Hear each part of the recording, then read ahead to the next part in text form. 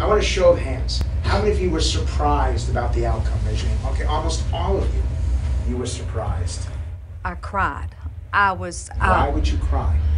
because I was so sure that Mitt Romney would win. I thought his ticket was perfect, and I thought his message was was resonating with people that they were prepared to vote for him. The polls, at least for the channels that some of us in this room were probably watching, the polls seemed to overwhelmingly um, suggest that he was probably going to win. This election is really about saving America. And I get real emotional about that because I look at what we've done with this country and I see that it's going totally in the wrong direction. And I looked at Romney and Ryan and I thought, yes, we have somebody who's accomplished in business, somebody who's going to get out there and really make a difference. And Ryan, with his, his financial background and the budget and all that, I thought, man, It was not a good day for the Republican Party. What are you willing to change? thing. I think the, the platform needs to be reevaluated. The, the thing that keeps, he keeps bringing back up is where, where are the blacks and where are the Latinos? And the women. And the women. And, the you're young right. voters. And you're right. The danger is that it's getting to a bidding war. I think it's more important Well- to stand by our ideals and our views into shadows. And if they have currency, we'll get them. And if they don't, then perhaps we should do some. Our, our message is just not inclusive. It just isn't. It's suburban, it's white suburbia. That, that suggests that you, that you, you know, that, that you have to package your values in different ways. And then that takes away from them as sort of universal values. And, and I think that, you know, we're talking about the candidates, okay, that's great, but that's the end of the process. You know, you have to get out there and sell the message, sell the values, sell the principles.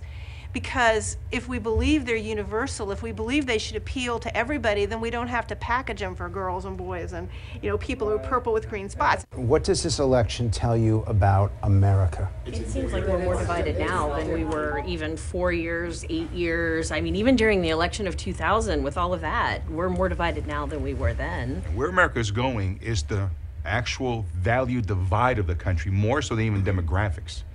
You have, hate this, these are hard words, but I believe you have a socialist agenda. There's people here that believe I don't have to work. How many of you think that the Obama administration represents socialism here in America? Raise your hands. Virtually every one of you regards this administration as being socialist. Why?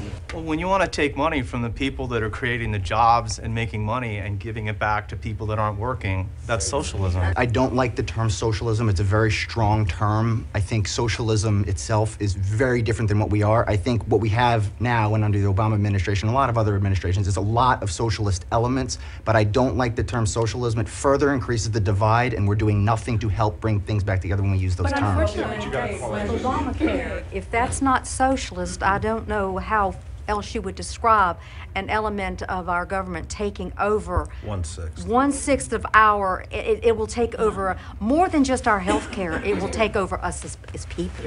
It's, and uh, the Democrats have done a great job, again, of packaging and using the terminology.